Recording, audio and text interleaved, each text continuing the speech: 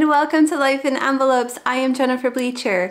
This channel is all about planning, budgeting, paying off debt, and my very exciting journey from full-time teacher to full-time Etsy shop owner and YouTuber. So if that is something that you think you would like to see, then please subscribe to my channel. I would love to have you along on this journey. In today's video, we're going to be closing out my family budget for the second? I think it's, I believe it's the second week of February, yes. We're gonna close out the second week and we're gonna set up the third week. Okay, um, but I just wanted to go over a couple of things with you before we jump in. I am reading this book, Atomic Habits, and I, through reading the book, I learned a couple of things about myself, and I learned why I was make I was struggling with my family budget a little bit. So a couple of the mistakes that I was making is I was planning for the budget I want to eventually have versus the budget I have.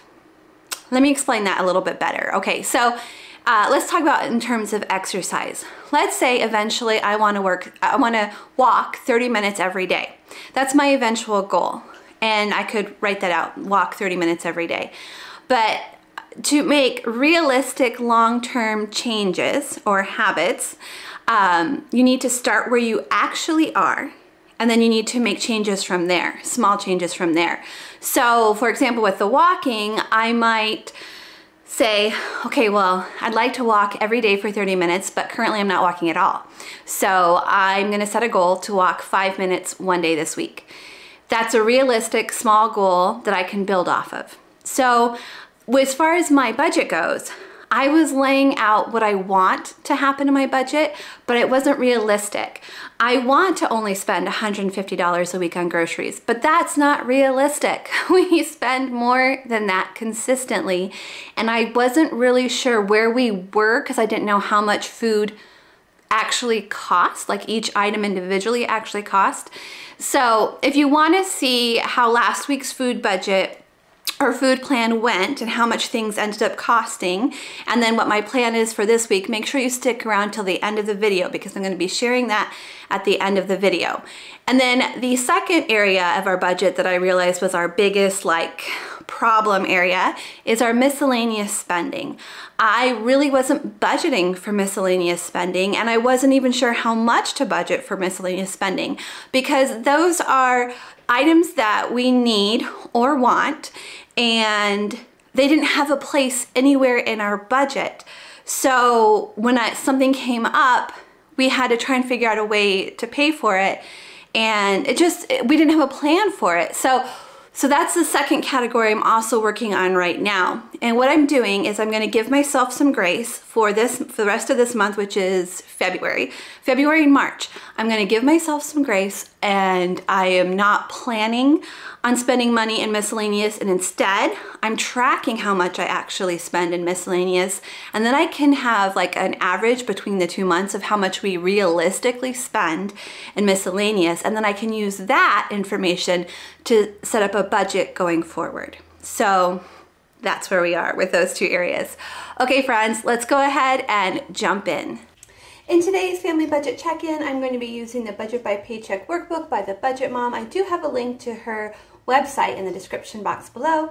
Everything else you see today is also um, in the description box below in my Amazon storefront.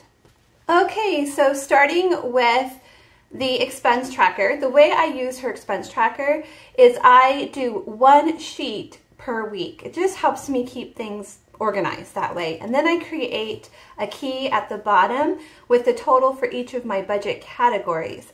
That way, when I go at the end of the month, when I go to close out my budget, I have all of the information neatly in place.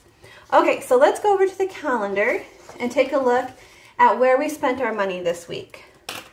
Starting with bills, we ended up only having one bill this week. It was for MetroNet, which is our internet, and that was $87. Next, we had a debt, one debt payment to our SUV for 118 For food this week, I am going to go over um, the food with you at the end here in a lot more detail, but just giving you the totals right now. We had two food purchases we had our normal um, Sam's Club sh uh, shopping trip and we spent 105 this week on that. And then we went to Fairway this week and we spent $78. So we're gonna go over the details of that in just a moment here. Okay, next is gas. We set aside $20 for gas. For miscellaneous, um, we have several miscellaneous expenses because I am doing a new miscellaneous thing. Um, I'm actually filming this before I film the intro, so hopefully I explained all this in the intro. hopefully. okay, so we had, I did wash my, my car this week, and that was $10. That's not something I do every week. Um, but it doesn't really have a budget category. And that's the whole thing with the miscellaneous is I don't have budget category for these things. So that's why I'm doing the miscellaneous. Okay, so we did, um, Logan did get his Oculus this week for his birthday. And I didn't think about this ahead of time. Um, he didn't have enough money for the taxes. So I, I paid the taxes, which was $32. Then we had an Amazon purchase and everything on this Amazon purchase was like things for the house, like cleaning products for the house. Now this is not something that happens on a regular basis. This happens only maybe a few times a year and that was $86. Part of that was hand soap because we had been using the Blueland hand soap, which I love, and it's easy to refill, but the problem was the pumps on the Blueland hand soap, um, we're giving out and there's no way to purchase more pumps, uh, which is very distressing. I mean, I, if you guys know how to purchase Blueland pumps, please let me know because we have the glass bottles, which are called like forever bottles. They're supposed to last forever. And it's only $2, like the tab that you put in the Blueland to refill it, it's only $2. So it's a great hand soap um, option, but we need the pump, we need new pumps. Okay, anyways. Um, so after Logan had had his Oculus for a few days, David uh, bought him a game.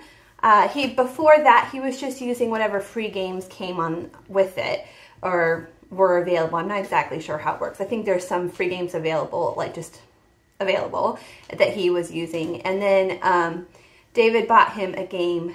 Uh, I think it's called Beat Saber it looks like so much fun. I actually want to play it. it's like it's a good workout. Like there's like these music things coming towards you that you have to hit.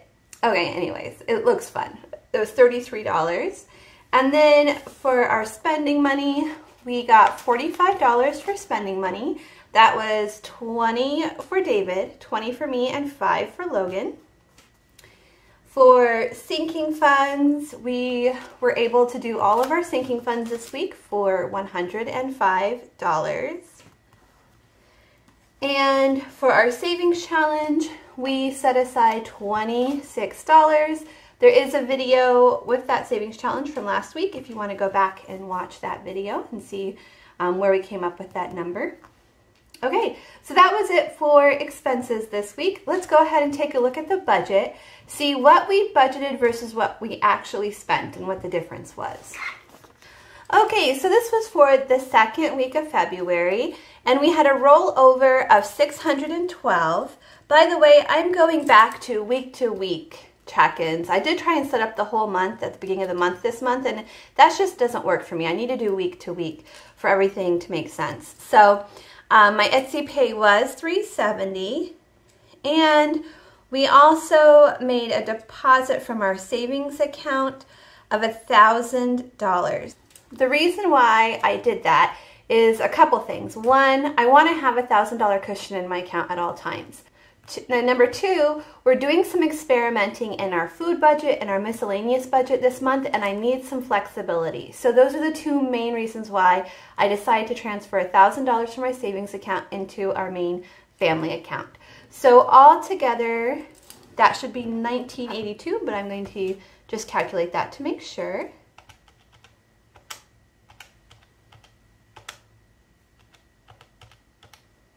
Yes, 1982. Okay, so coming down to our bills, there are some bills that didn't come out this week. So let's go to the front of the workbook to my bill tracker. So I have week two and three together because um, sometimes these bills come out week two, sometimes they come out week three. So MetroNet did come out and it was, was it 89? Let's go back and look. It was 87, so it was a couple dollars cheaper than what we budgeted. So I'm gonna go over here and cross that off. The SUV also came out, so I'm gonna go ahead and cross that off. We'll come down here to SUV, and it was, I believe it was 118, but let me just double check. Yes, it was 118. Okay, so Google Fi, Netflix, and our City of Ames bill has not come out yet. Just double check, make sure that's right. Yep, none of those came out this week. So it's going to be zero for those, and I'm going to put a star next to them. That just reminds me that I need to, when we're setting up week three, I need to include these three items on week three's budget. Make sure, Google Fi, Netflix, Ames. Yeah, there's nothing else. Okay, so let's see how much we spent on bills this week or our fixed expenses because some of these are bills and some are debt.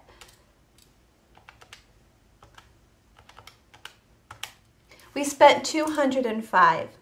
I just want to clarify because this confused me when I first started budgeting like what was a bill, what was a debt. So the way I categorize that for myself is a debt is something that's going to be paid off and it's a bill we're not going to have to pay anymore at some point in the future. Bills will always exist. They never get paid off. Even when I retire, I'll still have to pay for cable. I'll still have to pay my cell phone bill, you know, things like that. Okay, so 1982 minus 205. That is 1777. I'm going to bring that down here to our um, variable expenses. Okay, so there are some differences here. So first of all, spending money was $45. Now food, let's see where we were for food. So we had Sam's for 105 and Fairway for 78.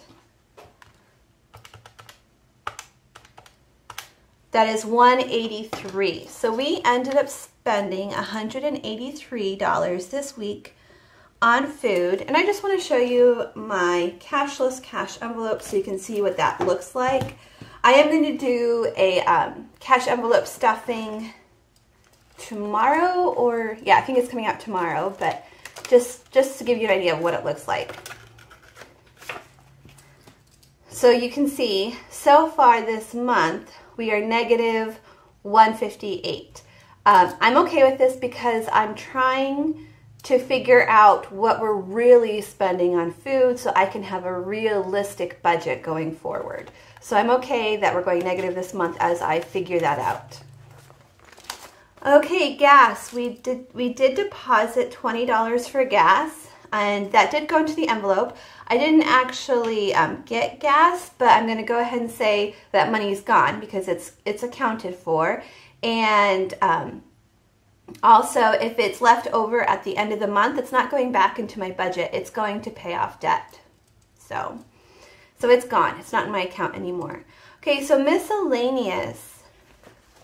So let's see, 32 plus 10 plus 33 plus 86. So that's 161. Again, I am okay with this because I am learning. I have to know where I'm at realistically so that I can have a realistic plan going forward. And in order to do that, it's it's going to cost money for me to figure that all this out. I can't continue going on pretending there's no miscellaneous expenses in life when there are. There are miscellaneous expenses almost every week, and I need to be realistic about the fact that I need money for that. Okay, so 161 and then our savings challenge was $26, is that right? Yeah, it was $26. Okay, so let's see all together how much we spent on variable expenses this week.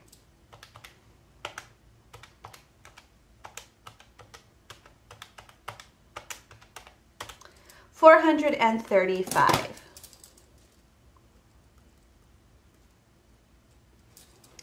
Okay, so 1777 minus 435.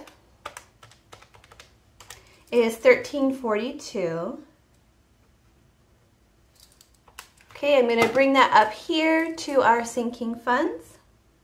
Okay, so when we set up week three, I'm going to change a couple of these categories, but we'll go over that in week three. This was, in fact, the amount that I put in our sinking funds last week, and there is a video where um, I show you I show you how I stuff. So there is a video from last week if you want to check that out. And we did do 105. So just really quickly, we put $5 for birthdays, 10 for car maintenance, 10 for car registration, 15 for Christmas, 5 for memberships, 25 for vacation, 10 for vet, and 25 for iPad. And altogether that's 105. So 1342 minus 105. That brings us down to 1237.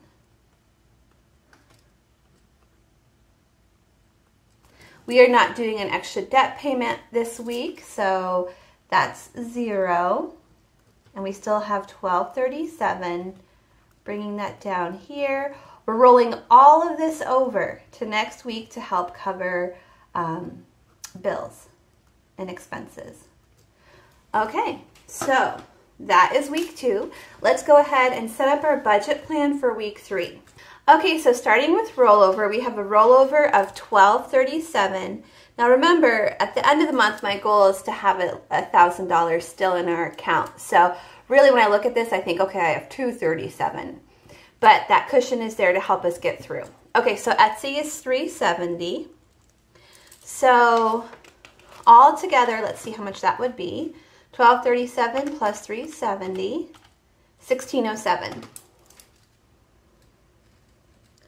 Okay, so let's start with the bills that did not come out yet. We have Google Fi, and that is a bill, and it will be $52. Next, we have Netflix, and that's a bill, and it'll be 15 And finally, we have our City of Ames bill, this covers water and power. It's a bill and it will be 274. Okay, so let me see all together what our bills are going to be this week. 341. So 1607 minus 341,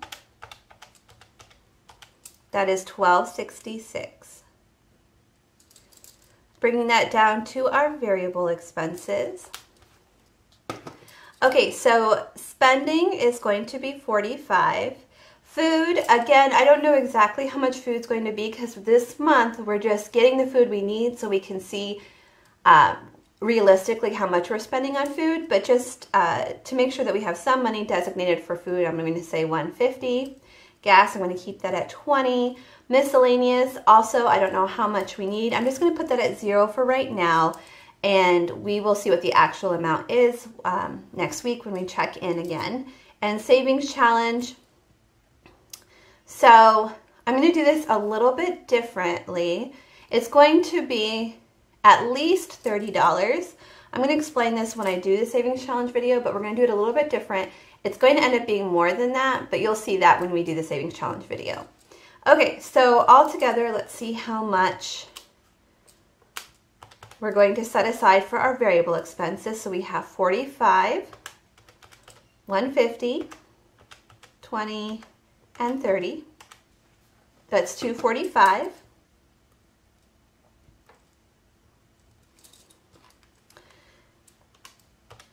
So we have 1266 minus 245. That is 1021.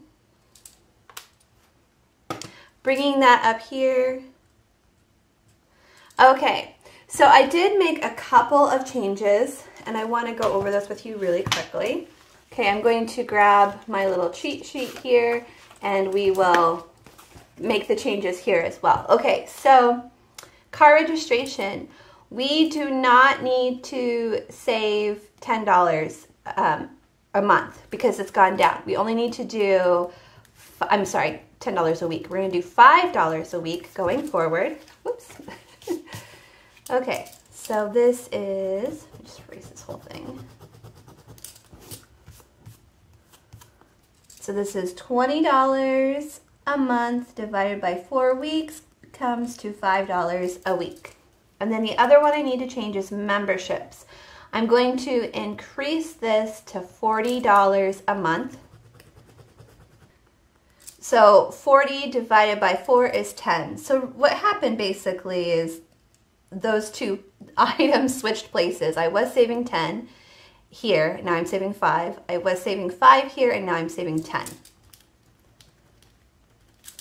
Okay, so let's write down all of these amounts on our budget sheet. So birthdays is 5, car maintenance 10, car registration 5, Christmas 15, memberships 10, vacation 25, vet 10, and iPad 25. So altogether, it still comes to 105. So 121 minus 105, I'm sorry, 1021. That brings us to 916. And I will do a cash envelope stuffing video um, later this week if you want to come back and check that out. Okay, so bringing that down here towards our extra debt, we are not making an extra debt payment this week, so we still have 916. Coming down to extra savings, so we have 916, and we're gonna roll over all of this to next week to help cover bills. Now, you will see we have dropped below that $1,000 mark, which I which is what I don't want to do eventually going forward in the future. I want to always have at least $1,000 in our account. I knew that was going to happen as we get things figured out this month. Um, so I'm not too worried. At the end of the month, I'll know how much of a bonus I'm going to get from Etsy. So the first thing I'm going to do with that bonus is make sure that we're back up to $1,000 in our account. And then I will go from there as far as paying off extra debt and things like that. Okay friends, so let's take a closer look at where our food money went this week. So we had a shopping trip to Sam's where we spent $105. Now, we purchased, we had two large purchases that don't happen every week. We had dog food, which uh, David and I think we get once every two months, and that was about almost $20. And then coffee, I don't know how often we get coffee, so we're to have to kind of keep an eye on that. But it's definitely not week to week, but that's a $25 cost. That happens maybe once a month. We'll see going forward as we continue to track um, our expenses. So taking those two out of the equation, 19 and 25, okay, 105 minus 25 minus 19. Okay, so we spent realistically, that's how much we would spend at Sam's, $61. Things we got from Sam's. We got mixed nuts, almond bars, frozen fruit, chimichangas, and cheese. Okay? So moving over to Fairway, this is where I buy like the ingredients to make our meals, and altogether that came to $78. Now let's look at each um, individual meal and how much it ended up costing. And then we'll also share this week's plan with you as well. Okay, so last week, uh, on when I came to you on Sunday, I made a Chipotle bowl, and that didn't cost anything because I used everything from our pantry and our freezer to make that. So, I mean, it cost our family money originally when we purchased those items, but it didn't cost us any extra money this week because I already had everything in my pantry. Okay, I made the chorizo potato recipe from YouTube, and it ended up costing $5.50. The Philly bowl recipe ended up costing $8. By the way, we I make this and then we eat it for several meals. So it's not just one meal, but actually several meals. I only cook usually once a day. And because I work at home and Logan homeschools, we eat all of our meals here. So breakfast, lunch, and dinner is eaten at home, but I only cook once a day. Okay, moving over to the ranch chicken potato. This was a uh, from the family fudge. This was her recipe. Oh my goodness, it was delicious, and it was $8.50. And again, it lasted several meals. We ended up not making fried rice because we had so many leftovers to finish. Then our pancakes and bacon cost six fifty. Now the pancakes ended up costing a dollar fifty, and the bacon was five dollars. So uh, next week, I'm going to try to make this even cheaper, and I'll show that with you in just a moment. And then yesterday, we ended up not cooking the sausage and potatoes because, again, we were finishing up leftovers. I do still have the sausage, so I can use that. I'm to use that uh, next week in a recipe. Okay, so let's move on to my plan for next week. We have the, I'm going to make this chicken ranch potato. I'm the only thing I'm going to change is instead of putting chicken, I'm going to use ground beef. I'm hoping it still tastes good. Um, something Logan and I decided this week or really figured out is we're not fans, really big chicken fans. So I actually have, still have some chicken in my freezer that I can use in the future for recipes, but I think I'd rather do it in like a crock pot recipe, so that's just a freezer item for the future. Okay, um, so we're going to try to use ground beef for this and hopefully it tastes good as well. We're going to make Philly roll again because that's one of my favorite things right now. Um, we're going to have chicken sandwiches. These This is uh, like vegetarian chicken sandwiches with pasta on the side. And then um, chorizo potatoes. I'm going to make that again. It was really good. Um, we're going to do one takeout day this week. We're going to spend $10 on pizza, and we're going to do that on Thursday. Okay, now we're going to do the pancakes again, which was $1.50, and I'm going to try something else. I just wrote sausages there, but I'm to try a different protein um, besides bacon and see if we can come up with anything cheaper. So I'm not sure how much the protein is going to cost yet. And then I'm going to make fried rice from ingredients from our pantry. I'm going to use that sausage. So it's going to be like a pork fried rice um, next Saturday. So this is the plan. We'll see what actually uh, we, what we make, but yeah, it's really interesting to see how much these you know break down to. Um, yeah, okay. Uh, also, oh, sorry. So there's some things here I make that Logan's not a fan of. So I wanted to have some other protein options for him. And basically what I'm going to do is when I make something he doesn't like, he can have one of these protein options and then he can also have like, we always have fruit and veggies on hand like baby carrots and apples. So you can have like meatballs and baby carrots and apples or fish sticks and baby carrots and apples, like that kind of thing. So I'm also planning on purchasing, oh, I think I forgot to tell you guys. I'm, I want to purchase from Walmart this week. I'm going to do a grocery pickup. I'm going to pick out the items I want um, and then and do that because I want to compare Walmart prices to Fairway prices. Okay, so meatballs, fish. Uh, these are just protein things I'm going to look for when I when I get on the Sam the the sorry the Walmart the Walmart site. I'm going to look for meatballs, fish sticks, chicken nuggets, corn dogs, hot dogs. Uh, the chicken sandwiches and hamburgers like Morningstar, the the, ve the vegetarian ones, um, because uh, these are what we like. Okay, so whew, that is the meal plan for this week. Thank you guys so much for watching. If you enjoyed today's video, will you please give it a thumbs up? And I will see you all again next time. Bye, everyone.